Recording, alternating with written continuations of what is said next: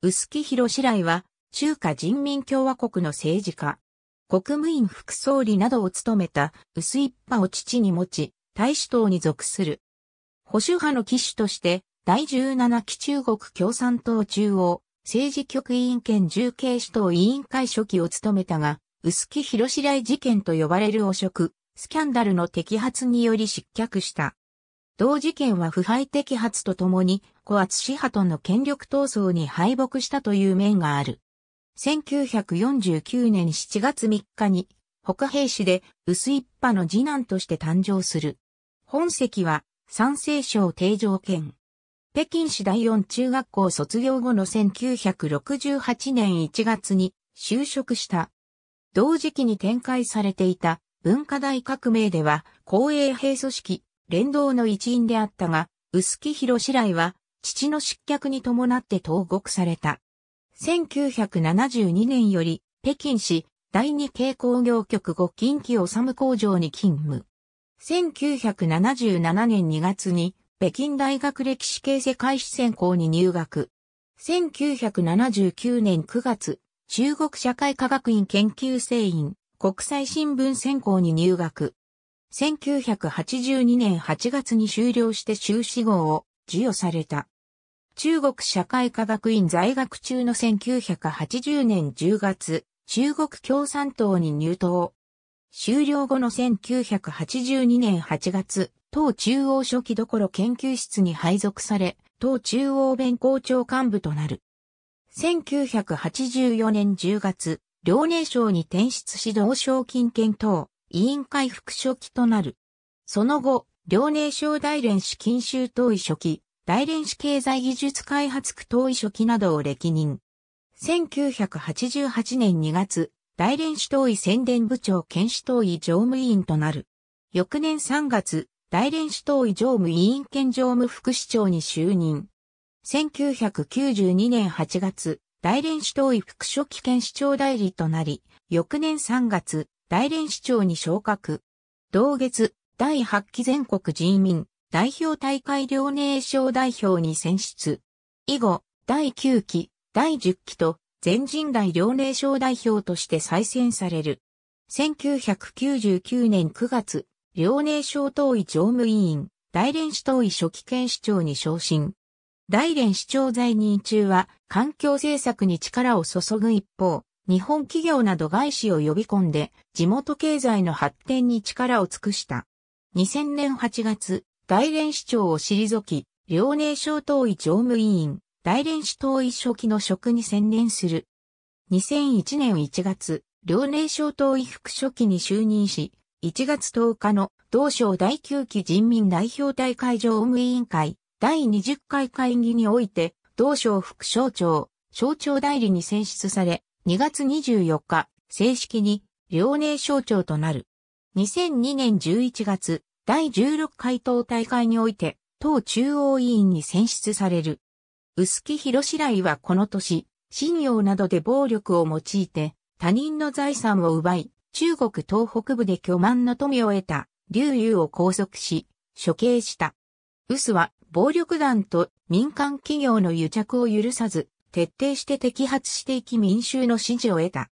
遼寧省での経験は、積極的な外資導入による経済発展と暴力団に対する厳しい姿勢といった薄の政治姿勢を寛容し、後に赴任する重慶市での姿勢でも活かされることになる。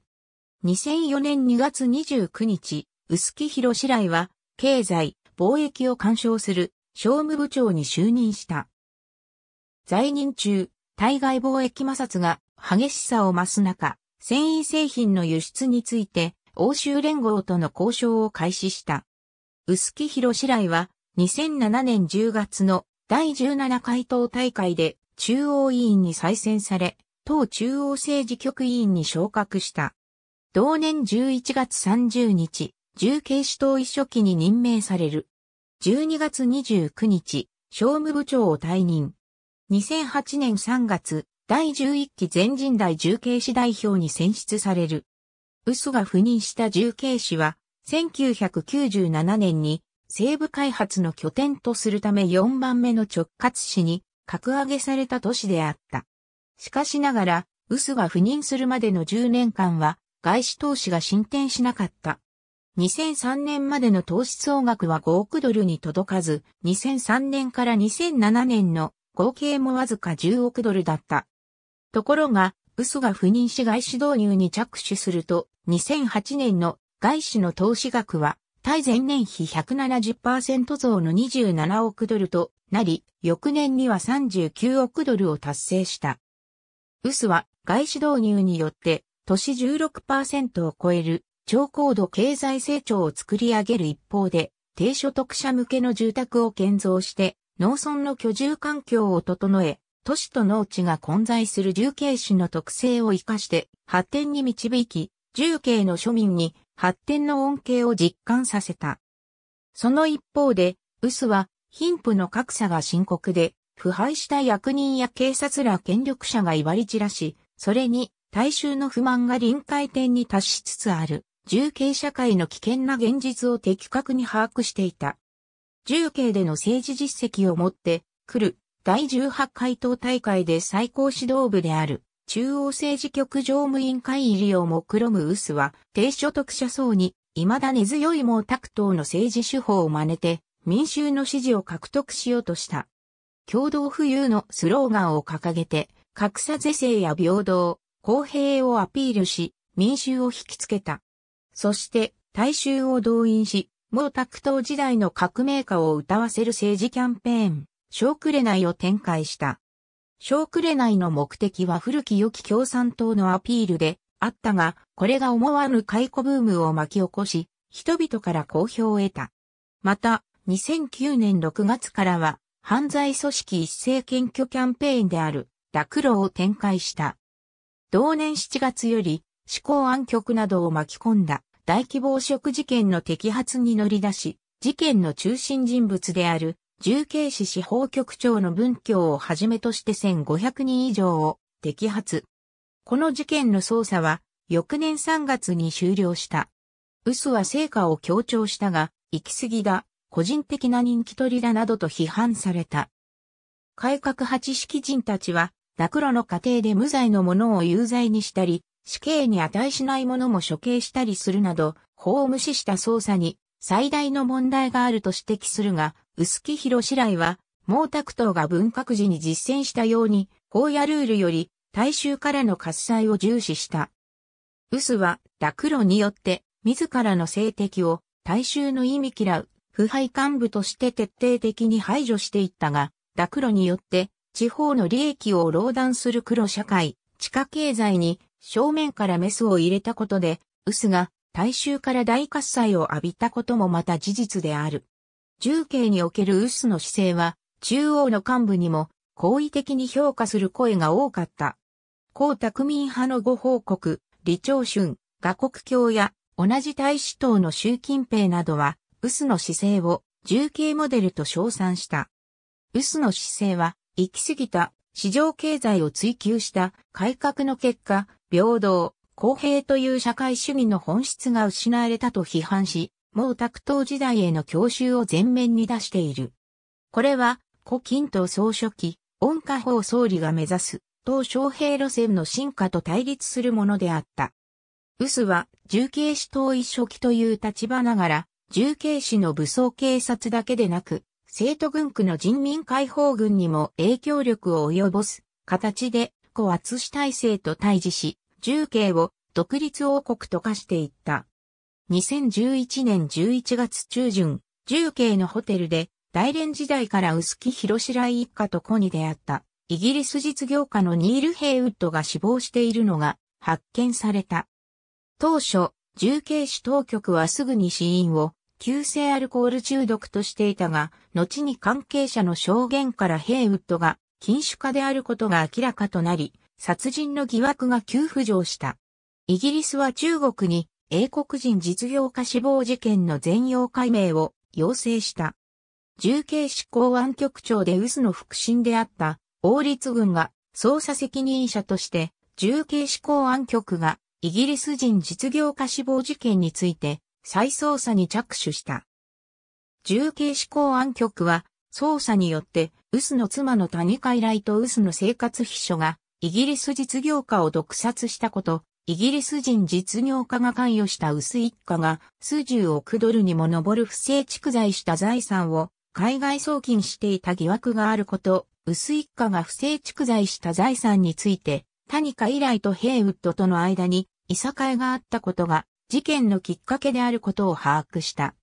ウスは王によるイギリス実業家事件の捜査に危惧を抱き、2012年2月2日に王重慶市公安局長から解任し、役職を政治的実権のない重慶市副市長の身とした。身の危険を感じた王は2月6日、四川省生徒のアメリカ合衆国総領事館に駆け込む亡命未遂事件を起こした。この事件が発覚したことをきっかけに、ウスの妻が関与したイギリス人実業家殺害事件やウス一家の不正蓄財など、ウスをめぐるスキャンダルがメディアで報道されるようになった。王立軍亡命未遂事件は、ウスの政治生命に大きな影響を及ぼした。2月中にはウスに対する専門調査グループの設置が噂された。去就が注目される中、ウスは翌月に開催された第11期全人代第5回会議に出席したが、3月8日、刑事訴訟法修正案の審議の際、ウスは会議を欠席して様々な憶測を呼んだ。3月9日、ウスは記者会見を開き、自分は汚職の調査対象ではないと述べたが、3月14日、国務院総理の恩家法は全人大閉幕後の記者会見で、ウスの小くれない濁露運動を文化大革命になぞらえて批判した。3月15日、党中央組織部は、王立軍亡命未遂事件の責任により、ウスの重慶主党委書記職解任を発表した。4月10日、新華社は、ニール・ヘイウッドは他殺であり、この事件に、薄木博士来の妻、谷平家キラが関与していること、谷平家キラがすでに司法当局に身柄を送られたことを公表した。そしてこの日、党中央は、薄木博士来に重大な規律違反があったために、中央政治局委員、中央委員の職務を停止し、党中央規律検査委員会に審査を委ねたことを公表した。